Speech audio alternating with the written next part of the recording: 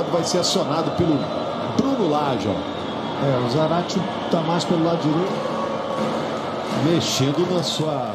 Tá aí Segovinha em campo. De melhor campanha no campeonato, enfrentando um duro adversário, o Atlético. Que tá querendo. Recebeu o Paulinho, entregou de graça, Segovinha. Tenta sair por ali.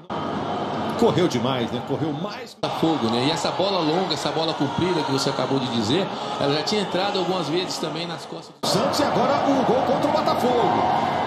Segovinha, Botafogo agora cheio de pressa, Luiz Henrique. E comemorando também o torcedor do Palmeiras. A diferença do Botafogo para o Palmeiras no momento. Ficou bem acostumado, né?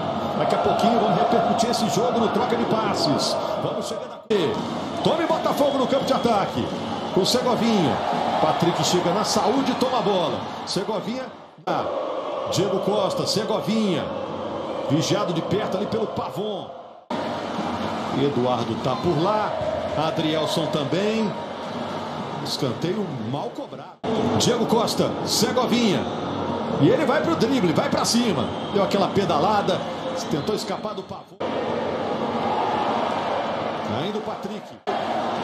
Mas a arbitragem entende que gastando tempo, botou a bola na cabeça. Segovinha.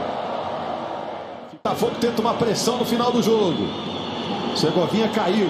E o Arana foi lá e recuperou. Do Botafogo. O Atlético foi melhor, achou mais espaço, achou mais possibilidade. Vamos ver. Bola no alto.